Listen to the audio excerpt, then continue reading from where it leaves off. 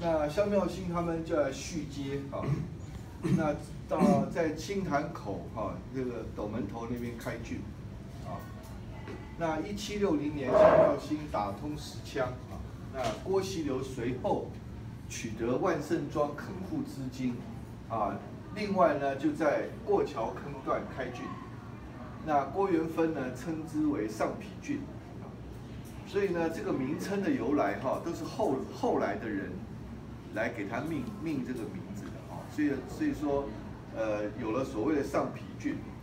那郭锡流的上皮郡开会开郡呢，他有知会萧妙心哈，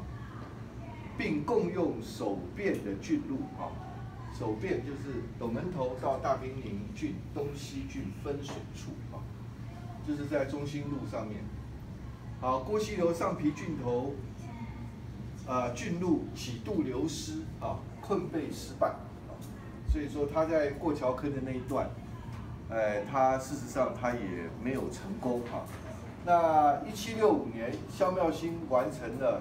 大平陵郡的通水，那郭锡流这一年过世，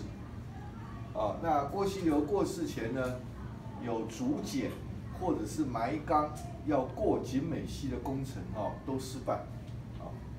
然后一七六七年，他的儿子啊郭元芬跟万盛庄垦户重订合约啊，重订合约，然后呢改以碧潭竹郡来就呃取取水，一七七八年左右哈，那完成了台北盆地的系统性的通水啊，所以柳公郡的通水哈，呃还要再晚啊，差不多整整个完整个通水的话是要到。一七七八年以后，哈，所以比这个大平陵郡哈还要晚个十十二三年左右。好，那